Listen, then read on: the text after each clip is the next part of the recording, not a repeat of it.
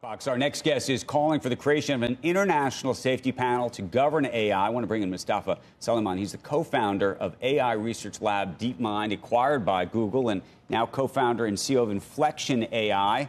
His latest book is called The Coming Wave Technology Power and the 21st Century's Greatest Dilemma. And he's, I, I want to say, one of the great thinkers uh, on this very issue.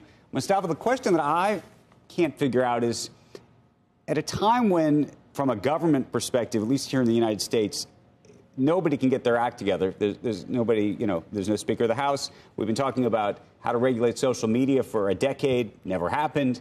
How is it possible that we're going to have some kind of international committee that's going to agree on anything? when it comes to AI?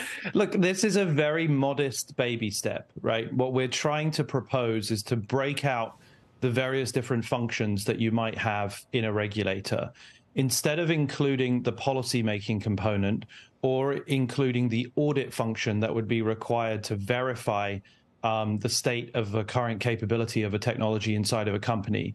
We're simply proposing that an international panel on AI safety modeled on the IPCC would focus on establishing the scientific consensus about where capabilities are at and where they might be going. Because the challenge we have at the moment is that a lot of policymakers don't have the information to make sensible regulations. And so there's a risk of a knee jerk overreaction where folks think that we're on the risk, on the cusp of some dramatic existential threat, which personally I don't think is justified and might cause people to be alarmist and panicked.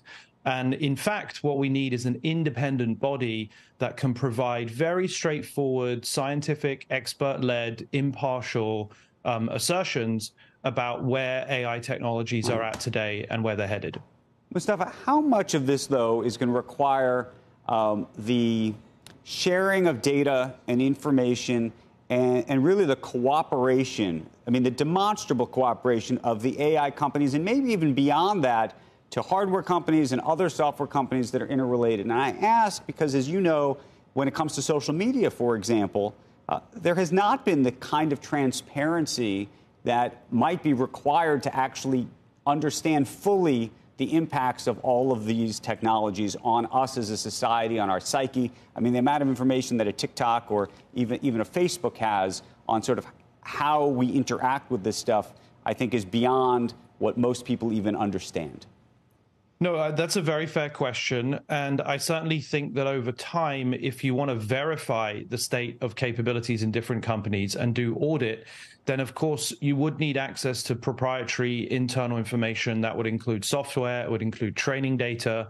Arguably, it might even include the model weights, which is the sort of infrastructure for actually training these big large language models you know, my company, Inflection AI, would be very happy to support that. Several other companies across the industry have said they would be happy to support it as well. So there is a groundswell of energy emerging here for, you know, proactive cooperation.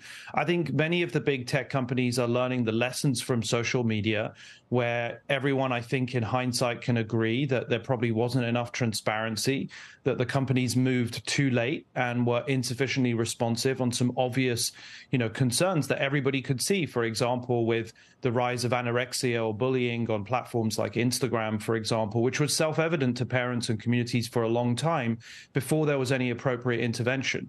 This time round, we're saying, and other companies are saying too, that this is a great opportunity to try and get ahead of that and doesn't actually require particularly onerous interventions. Like we're really only talking about the very largest tech companies in the world. We're not talking about small, medium sized enterprises that are using AI APIs to try and improve their business on a day to day basis. We're talking about the frontier labs. Uh, you know, myself included, Anthropic, OpenAI, Google, obviously, Microsoft.